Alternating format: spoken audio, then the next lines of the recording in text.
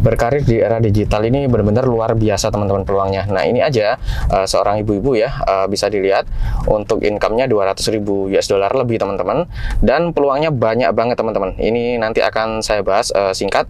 Namun ini adalah video lanjutan dari part ketiga sebelumnya. Jadi video ini part keempatnya. Jadi buat teman-teman yang belum nonton part 1, 2 dan yang terbaru sekarang ini bisa dilihat di deskripsi video ini agar nggak bingung bagaimana step by stepnya dari nol hingga menghasilkan.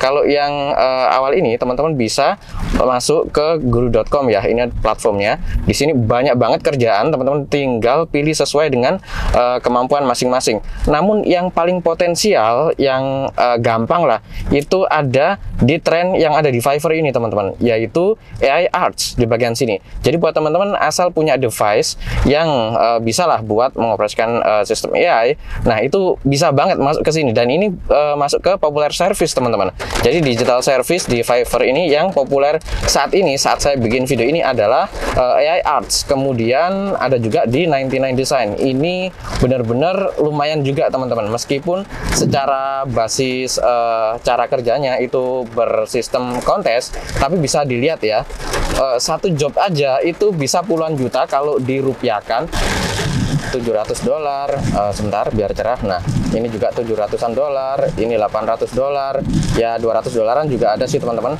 Tapi setidaknya di sini kita bisa mengasah skill kita teman-teman. Namun kalau kita beracuan pada uh, hadiahnya yang segini gede itu bisa membuat kita semangat untuk mendalami skill yang ingin kita kembangkan teman-teman.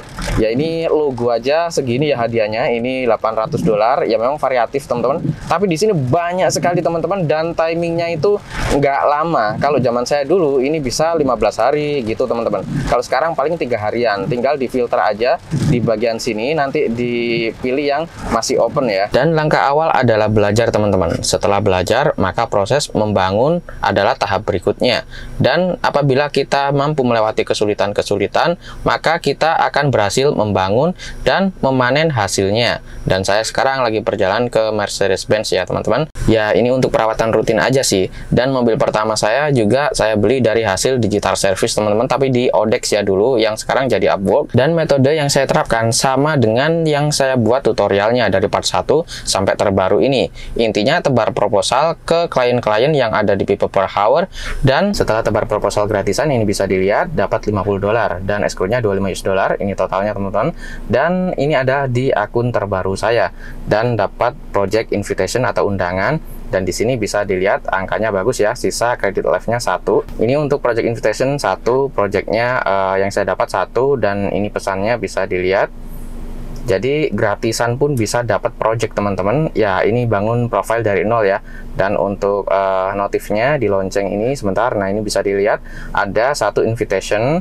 Ini bisa dilihat ya jam 7.54 AM yang jelas meskipun gratisan kita bisa mendapatkan project teman-teman. Ini sisa satu untuk uh, credit life proposal saya. Dan ini adalah history dari bidding saya teman-teman. Jadi uh, di per hour ini kita bisa mencari kerjaan itu tanpa modal teman-teman. Dan buat teman-teman yang prakteknya pakai HP tampilannya diganti tampilan desktop ya. Dan untuk biddingnya saya praktekkan lagi. Ini langsung aja dibuka di tab baru. Tunggu sebentar. Kayak gini tampilannya dan akan saya kopikan menggunakan proposal dari kerjaan yang sudah di approve. Di sini langsung aja saya copy. Ini yang udah di approve 50 dolar ya. Dan di sini bisa dilihat escrow-nya 25 dan e, langsung aja saya paste di sini. Sebentar, accept invitation di bagian kolom proposal sini dipaste dan untuk item ini ketik aja logo atau sesuai dengan project yang teman-teman bidding. Ya ada banyak banget ya sebenarnya kategorinya. Di sini diisi aja. Kalau saya flat 50 US dollar karena masih akun baru teman-teman. Uh, sebentar di sini dicentang dan uh, diganti dulu untuk deposit kliennya 50 dolar biar langsung 100% ya. Kemudian send Nah, sekarang udah terkirim teman-teman. Setidaknya uh, kerjaannya itu bebas ya. Kita bisa main atau di mana aja dan bisa bidding project meskipun pakai HP teman-teman. Dan salah satu cara untuk meng-up proposal kita ini bisa dilihat keterangannya dengan menekan tombol fitur it di bagian sini. Keterangannya bisa dilihat teman-teman. Uh, klien atau buyer akan menerima proposal kita secara instan sebelum yang lain. Dan di sini ada pesan sebentar saya akan buka untuk job yang uh, ditolak itu kayak gini keterangannya. Ditolak uh, apa namanya tapi kliennya sudah memilih orang lain untuk menjadi freelance di project yang dia post di per hour ini. Kalau di cancel kayak gini berarti job dibatalkan teman-teman. Jadi kalau udah dapat project nanti uh, teman-teman bisa melihat seperti yang sudah saya tunjukin di awal tadi ya. Dan setelah beberapa hari saya menunggu setelah mengirim brief dari klien yang saya kirim ke ponak rekan saya dan juga teman saya yang ikut bantu ngerjain ya hasilnya akan dibagi teman-teman.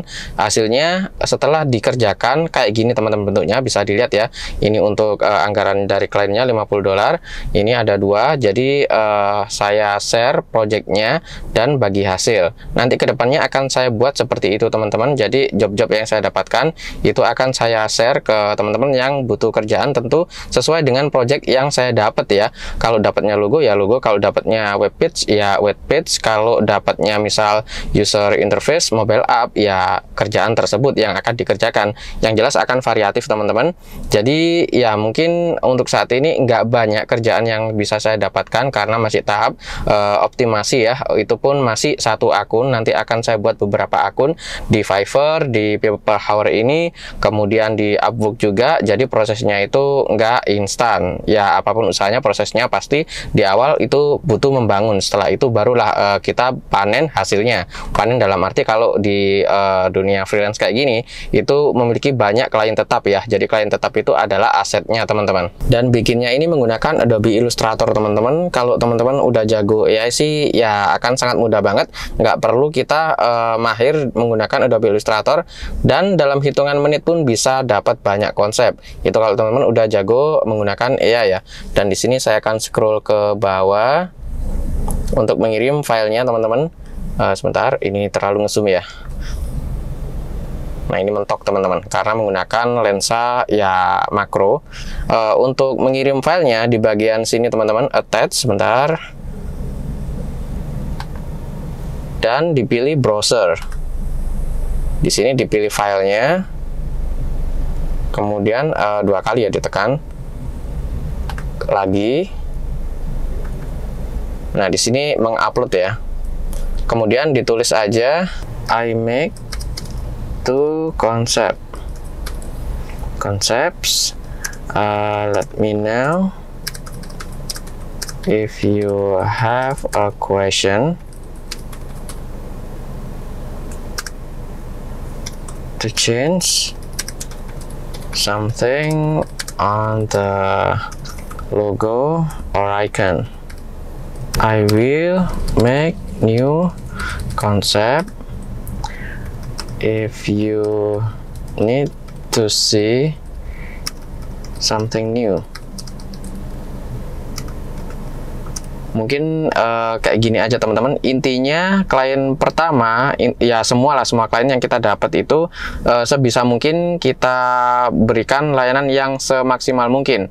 Misal konsep yang sudah kita berikan tadi itu kurang serak ya kliennya maka kita kasih yang baru. Nah klien klien apa namanya uh, logo yang nggak dipilih oleh klien itu kita jual ke platform Creative Market atau Shutterstock atau uh, Frapic dan lain sebagainya. Graphic Reaper pun nggak masalah jadi di situ uh, kita itu membuat karya sekaligus untuk membangun uh, aset digital juga di berbagai platform teman-teman.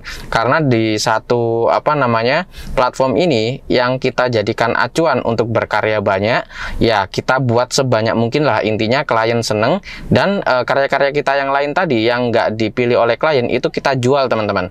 Nah setelah kayak gini langsung aja di send ya. Ini kita tekan press enter to send, uh, langsung enter juga nggak masalah uh, langsung ditekan button send ini juga nggak apa-apa. Sending tunggu sebentar. Kalau sudah dikirim kayak gini teman-teman keterangannya. Nah akan muncul gambarnya di bagian sini ya fokus. Nah sebentar saya scroll ke bawah. Ini yang konsep kedua tadi. Dan buat teman-teman yang ingin belajar uh, grafisnya itu di channel saya yang uh, fokus uh, khusus grafis ya di bagian sini sebentar.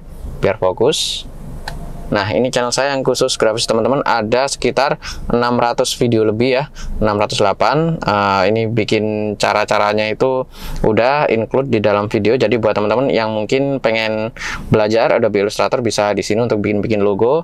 Namun kalau teman-teman uh, pengen menggunakan AI itu jauh lebih simpel lagi teman-teman, jauh lebih gampang, jauh lebih cepat dan langsung dapatnya banyak konsepnya, enggak satu-satu dari uh, menkonsep bentuk kayak gini kayak gitu. Uh, jadinya ya agak lama memang.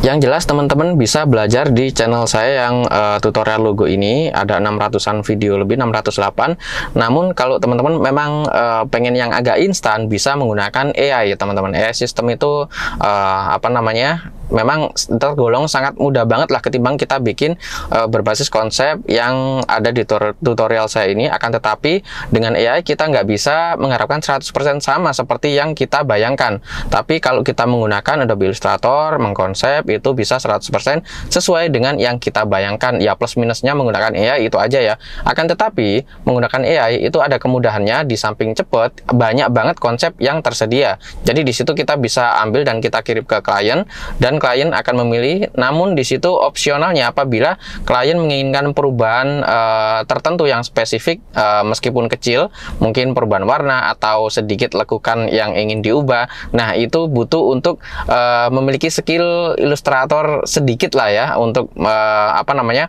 merubah-merubah sesuai dengan request dari klien. Dan ke depannya akan saya buat mungkin tutorialnya bagaimana cara menggunakan AI dan mengedit-editnya sedikit. Karena dengan metode seperti itu uh, nggak perlu kita butuh untuk menguasai Illustrator secara menyeluruh tapi untuk menguasai Illustrator secara menyeluruh itu akan jauh lebih baik ya setidaknya uh, dengan menggunakan AI system itu bisa mempermudah kerjaan kita teman-teman ditambah lagi di platform Fiverr yang menjadi populer service nomor satu saat saya bikin video ini adalah AI Arts teman-teman bisa dilihat ya ya setidaknya dengan adanya sistem AI itu bisa membuka peluang kerjaan baru teman-teman di era digital ini.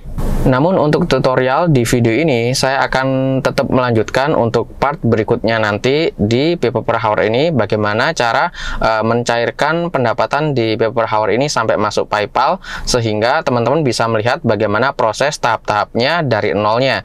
Dan buat teman-teman yang belum nonton part pertama bisa melihat di link deskripsi video ini nanti akan langsung diarahkan ke playlist ya.